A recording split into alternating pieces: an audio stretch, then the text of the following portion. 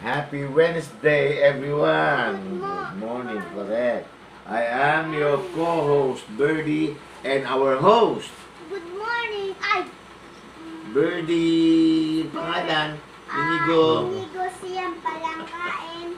Welcome to my YouTube channel sa ating... Wednesday, Semplang lapangan. correct.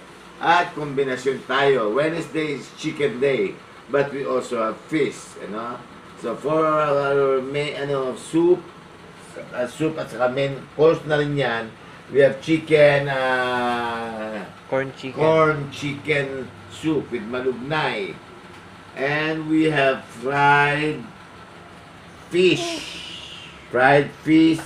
Siyempre, kasama niya ng suka with uh, bawang. Bawang. And sa salad, meron naman tayong uh, tomato salad with just uh, to, toyo and uh, sibuyas.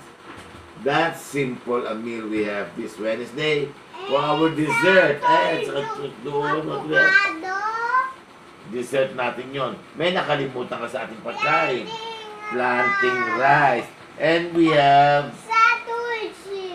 santol juice. And avocados.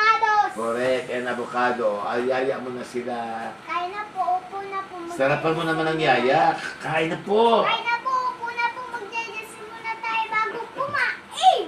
Okay, we will see you again tomorrow. Bye-bye. Thursday, balik tayo sa isda.